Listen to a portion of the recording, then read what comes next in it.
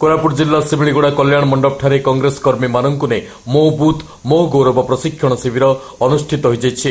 ମୁଖ୍ୟ ଅତିଥି ଭାବେ ଯୋଗଦେଇ ଜିଲ୍ଲା କଂଗ୍ରେସ କମିଟି ସଭାପତି ମୀନାକ୍ଷୀ ବାହିନୀପତି ବିଜେଡି ଏବଂ ବିଜେପି ଦଳର ଦୁର୍ନୀତିର ମୁଖା ଖୋଲିବା ସହିତ କଂଗ୍ରେସ ଦଳକୁ ମଜବୁତ କରିବା ପାଇଁ ଆହ୍ୱାନ ଦେଇଥିଲେ। କାର୍ଯ୍ୟକ୍ରମର ନେତୃତ୍ୱ ନେଇଥିବା ପୂର୍ବତନ ବିଧାୟକ ରାମଚନ୍ଦ୍ର କାଡାମ ଦୁଇହଜାର ଉଣେଇଶ ନିର୍ବାଚନ ନିମନ୍ତେ ଏକତା ରଖିବାକୁ ବକ୍ତବ୍ୟ ପ୍ରଦାନ କରିଥିବା ବେଳେ ପୂର୍ବତନ ବିଧାୟିକା ଚନ୍ଦ୍ରମା ସାନ୍ତା ନରସିଂହ ବେହେରାଙ୍କ ସମେତ ପଟାଙ୍ଗୀ ନିର୍ବାଚନ ମଣ୍ଡଳୀର ବହୁ କଂଗ୍ରେସ କର୍ମୀ ଏହି ଯୋଗ ଦେଇଥିଲେ।